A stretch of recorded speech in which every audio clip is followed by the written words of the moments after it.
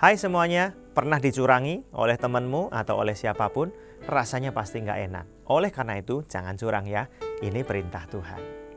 Contoh, ketika ada orang yang punya ladang, dia kaya sekali. Dia lihat temannya susah, nggak bisa kerja, nggak bisa makan. Dia panggil temannya, sini kerja di ladang sini. Saya kasih benih, kamu tanam, kamu rawat. Nanti kalau panen kita bagi hasil ya. Ini kan berbuat baik kan kepada temannya Gini, kamu ambil aja 90%, 10% itu milik saya. Oke? Jadi ketika nanti sudah panen, orang ini memberikan 10%, dia tidak sedang memberi kepada si pemilik tanah, tapi dia mengembalikan apa yang menjadi hak dari si pemilik tanah tersebut. Oleh karena itu kita melihat, tanah perjanjian itu milik Tuhan.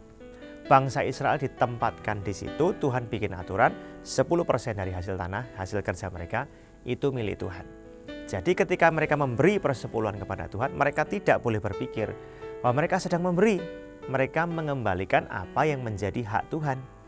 Imamat pasal 27 ini berbicara ketika ada orang membayar nasar kepada Tuhan. Nasar itu janji yang dibuat kepada Tuhan.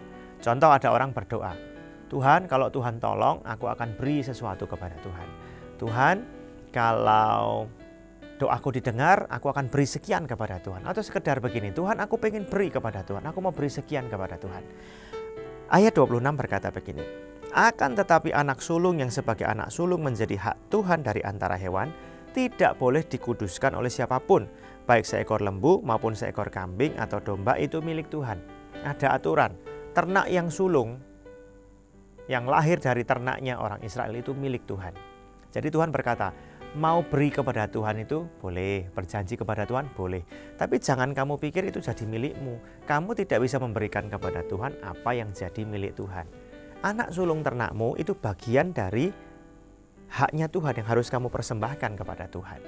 Ingat tanah itu milik Tuhan, bahkan seluruh hidupmu milik Tuhan.